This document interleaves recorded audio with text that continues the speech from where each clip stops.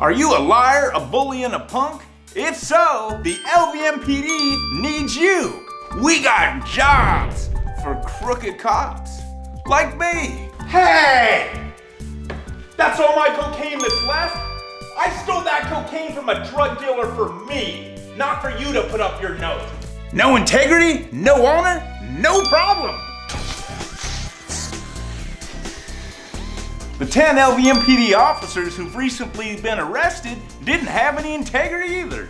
These are the mugshots of the 10 criminals with badges whose butts are currently behind bars for crimes such as child abuse, embezzlement, soliciting a child for prostitution, sexual abuse of a minor, drug trafficking, murder.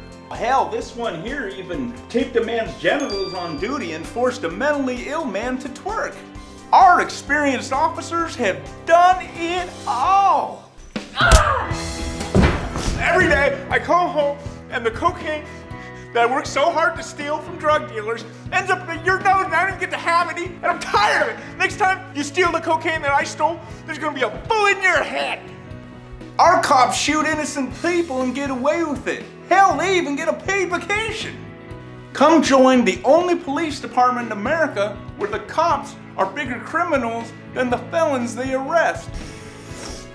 Ah, damn, I got this cocaine on my damn patch again. And with so many of our officers locked up behind bars, the LVMPD needs a fresh set of liars, bullies, thugs, and punk asses to commit crimes against the citizens of Las Vegas.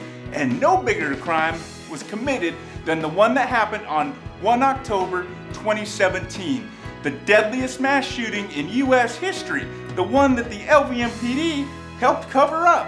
And I made a movie about it called Money Machine. We are talking about the largest mass shooting in the history of the United States. This is a crazed lunatic. My brother just killed 58 people.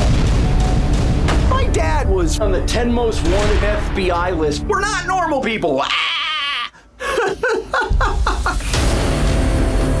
Steve gambled $1.6 million at the Mandalay in the week before he did this. He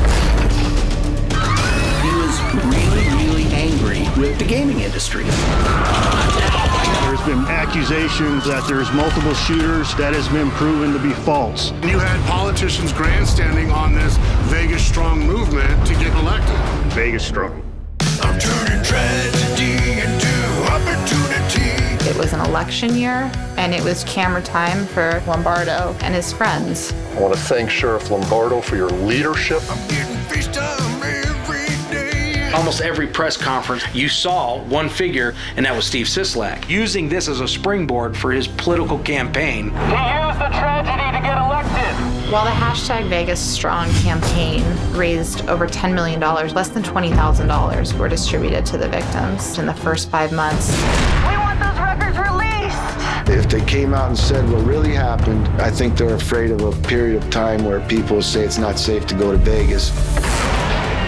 Nothing happens in Las Vegas without the ring of a cash register. MGM Resorts is suing the victims. They are being sued for getting shot. Shameful, disgusting, outrageous. The newly released video shows Las Vegas police waiting in the hallway as Stephen Paddock continues to murder people. Oh my God. Lives could have been saved if they would have taken action. They were fibbing the whole time about being such big heroes. They were hiding in the hallway. I asked them, are you stupid or are you incompetent? Please stop asking your question.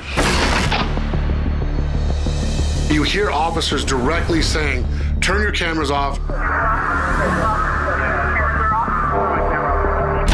telling you right now, there's more than one shooter.